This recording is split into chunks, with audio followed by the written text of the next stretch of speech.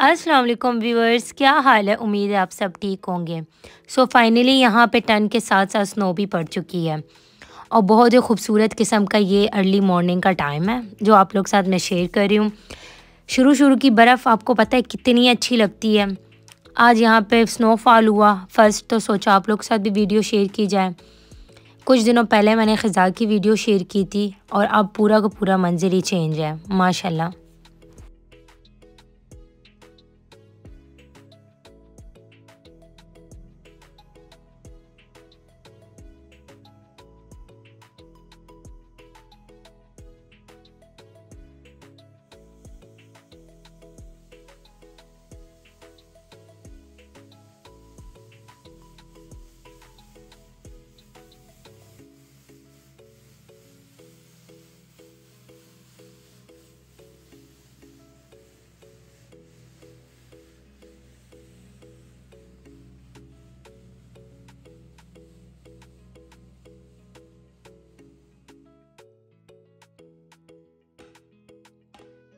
यहाँ पे बन रहा है सिंपल ब्रेकफास्ट और बच्चों ने तो ब्रेकफास्ट कर लिया और अब बारी आती है मेरी। बस मैं एक कप चाय पीऊँगी और उसके साथ एक पैन केक लूँगी।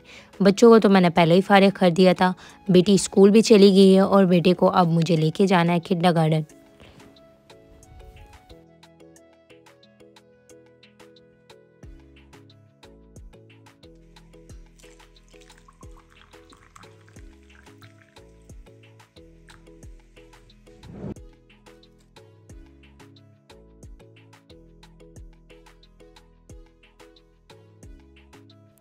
जब पहली स्नो पड़ती है ना तो बहुत ही अच्छी लगती है। बहुत ज़बरदस्त किस्म का फीलिंग आपको आ रहा होता है। और जब बाहर निकलते हो घर से तो इट्स एवरीथिंग वाइट एक अलग ही लुक लग रहा होता है। माशाल्लाह, कितना हसीन मंज़र है। दरख्तों से पत्ते झड़ चुके हैं, बर्फ़ की तय जम चुकी है। और वीडियो में तो इतनी खूबसूरती नहीं लग रही, जितनी रियल में देख के लग रही है। माशाल्लाह। बस यहाँ पे माँ और बेटा सुबह सुबह स्नोफॉल को एंजॉय कर रहे हैं। मेरा बेटा काफ़ी खुश था। जब वो बाहर निकला तो कहता, मामा एवरीथिंग इज़ वाइट मामा, मुझे स्नोमैन बनाना है। मैंने कहा, बेटा इससे स्नोमैन नहीं बन सकता। एक तो उसको टंड भी लगी हुई थी बार बार अपने अपनी नोजी जो है वो भी छुपा रहा था। और फिर भी कह रहा था कि मामा मुझे स्नो स्नोमैन बनाना है। मैंने कहा बेटा इससे स्नोमैन नहीं बन सकता ये हल्की हल्की जो है वो पड़ी हुई है स्नो और आ, मुझे लगता है अगर इस पर धूप पड़ जाए तो ये मेल्ट हो जानी है। क्योंकि इस दफ़ा अनएक्सपेक्टेड था नवंबर में स्नो होना लास्ट ईयर दिसंबर जनवरी में स्नो हुई थी और इस दफ़ा जो है नवंबर में हो गई। बस ये हम बातें बातें करते करते किड्डा गार्डन भी पहुँच गए इसको मैं किड्डा गार्डन पे छोड़ूँगी और उसके बाद जो है ना घर जाऊँगी।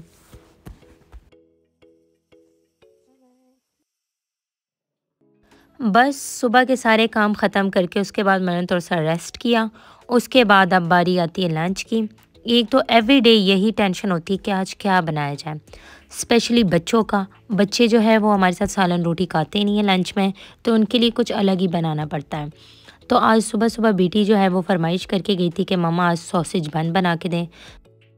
इसका डो मैंने सुबह ही बना दिया था। इसमें मैंने सिंपल नमक, चीनी, दूध, एक अंडा और ईस्ट डाल दिया था और इसको तकरीबन एक एक घंटे के लिए मैंने ईस्ट करने के लिए रख दिया था। यहाँ पे लेफ़्ट ओवर थोड़ा सा डो रह गया था, इस पर मैंने कहा, मैं छोटे छोटे पिज़्ज़े बना लेती हूँ। तो बस इसको, इस पर मैंने सिंपल सॉस लगाया और वही लेफ़्ट ओवर सॉसेज जो थे, उनके छोटे छोटे पीसीस करके वो डाल दिए।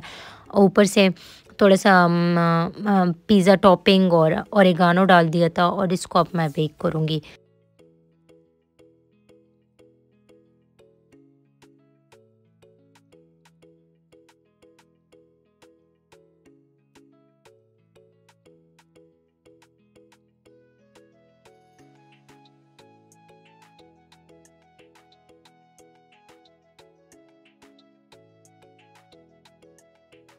बहुत ही ज़बरदस्त किस्म के बेक हुए थे।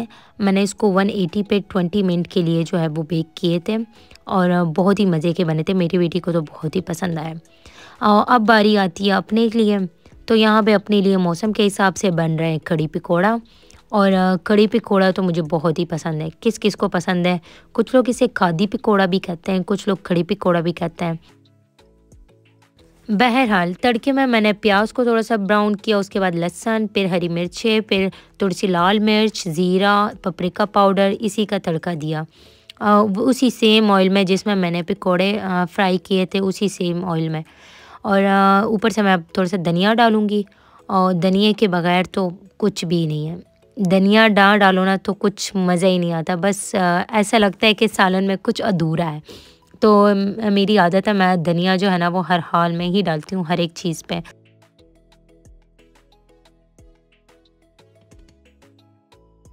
बस दोपहर के खाने के बाद जो है, तकरीबन पाँच बजे के करीब मैं बेटे को लेके आई हूँ लाइब्रेरी।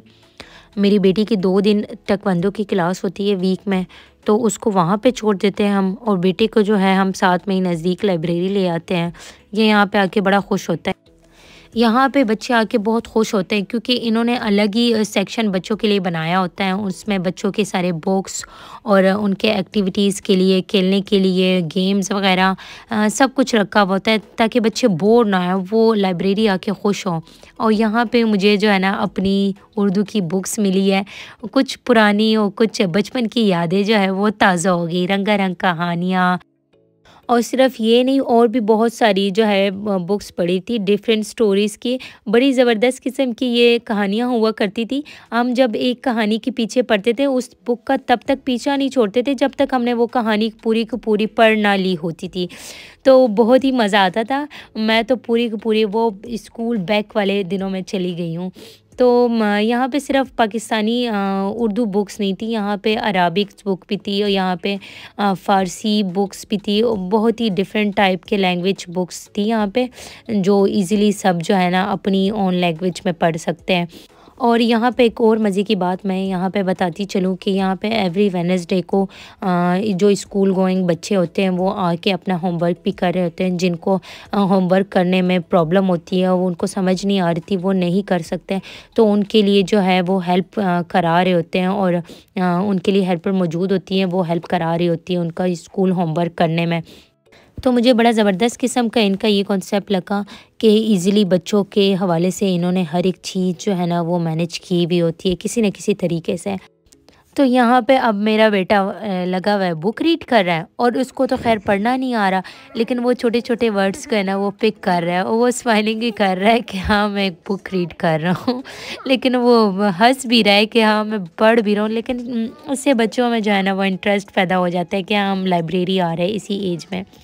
बस यही थी आज की वीडियो अगर आप लोग को मेरी वीडियो पसंद आई है तो लाइक और सब्सक्राइब कीजिएगा और अपनी दुआओं में याद कीजिएगा। अल्लाह हाफिज़।